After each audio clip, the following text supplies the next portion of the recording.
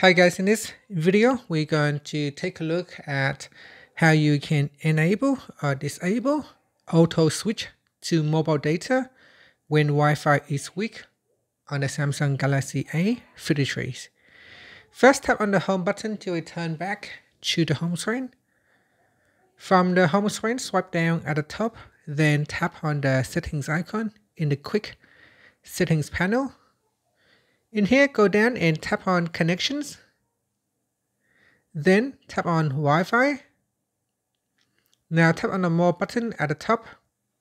From the pop-up, tap on intelligent Wi-Fi. Then tap on switch to mobile data. Tap on the toggle button to turn it on or switch it off.